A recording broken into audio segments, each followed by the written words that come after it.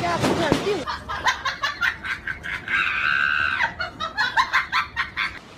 तो फिर आप ऐसे